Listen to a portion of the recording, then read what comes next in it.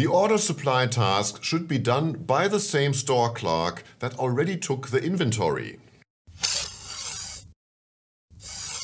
Hi, my name is Andreas Hense and this video is part of a series on resource patterns in YAWL. Today we talk about retain familiar. Where several resources are available to undertake a work item, the ability to allocate a work item within a given case to the same resource that undertook a preceding work item. You can see the behavior in the following flash animation. Okay, three store clerks here.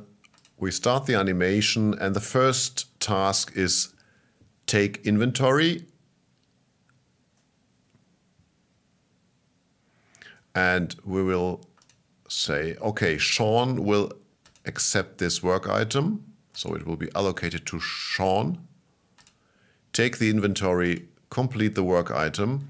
And the next one is now the retain familiar. So the same user has to do order supplies. So Sean completed the first one and Sean has to complete order supplies now.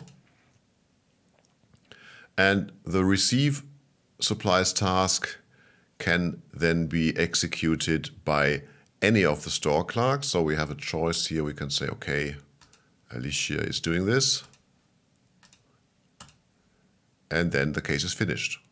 In YAWL, this can be implemented by the constraint choose completer of task, as you can see here in the resource dialog of the YAWL editor.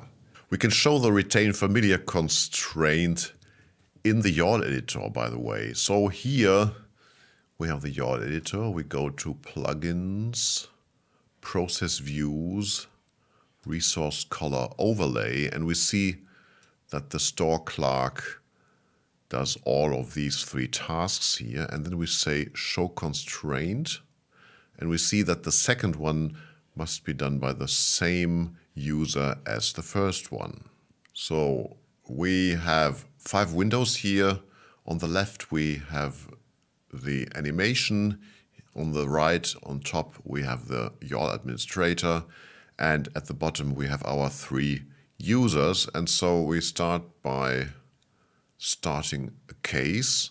And then we look at the work queues of the users. We see that all of them have the take inventory work item offered.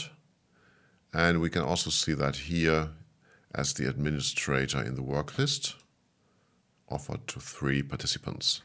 So let's say Sean will start it. So Sean accepts the work item and then immediately the others don't see it anymore. So we start it and we complete it. And then there's the second work item for order supplies. You can see that this is now only offered to Sean. The others don't see it. So Sean works on this one, completes it. And then we have the third work item, receive supplies. And this is again offered to all three participants. So let's say Sean does this one as well.